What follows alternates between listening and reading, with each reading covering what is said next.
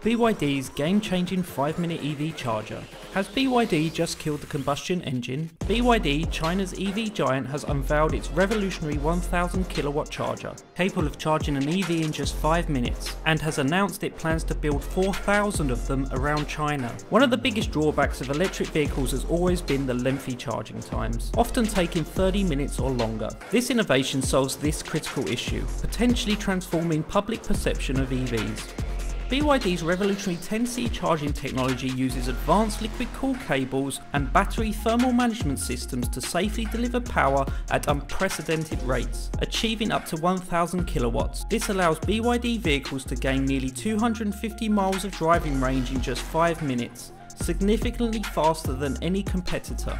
BYD's groundbreaking technology makes EV charging times comparable to refueling a traditional petrol powered vehicle.